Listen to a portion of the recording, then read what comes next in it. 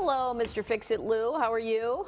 I'm doing well. Good morning. Um, this morning, I want to talk about scum and scratches. That is not what Larry's old girlfriend used to call it. so let's be very careful about that.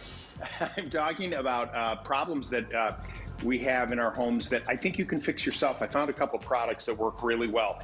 Uh, scratches on stainless steel. This is a problem. This is from a, a guy named Barry, and it's a scratch be gone kit for stainless steel. So if you, the front of your stainless steel stove or your uh, refrigerator or anything that's stainless steel, this is important, non-coated stainless steel. So they have a little test in here to know to make sure you see those scratches that drive yeah. you crazy, get the brand new thing. Okay, this kit comes with these pads and you are actually going to regrind and you have to go with the grain to bring it back to life.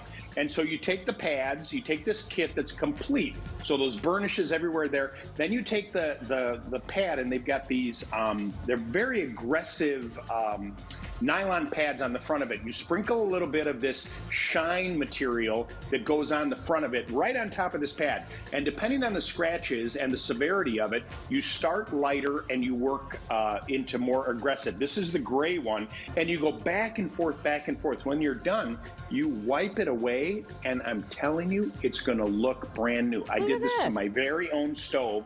It's hard to see on the camera, but the scratches are gone. It looks brand new. Fab. Scratch B-Gone is the kit, and you can use this on non-coated stainless steel.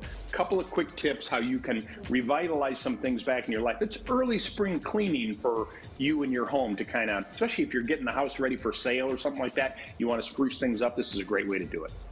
All right, Lou, have a great weekend. Thanks so much. You too.